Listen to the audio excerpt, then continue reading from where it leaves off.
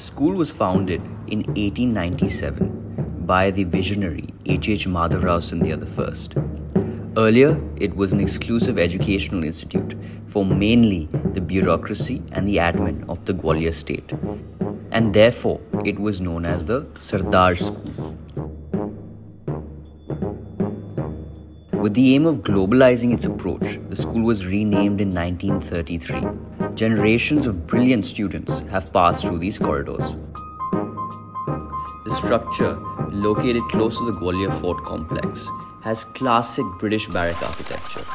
It has undergone several changes over its 125 years of existence, but one thing remains the same the preservation of Indian values and respect for the environment through sustainable means. Growing up on this beautiful campus, the dorms, the classrooms, the fields, the stables, all of these facilities, along with the outdoor amphitheater, always leaves an indelible mark on any student.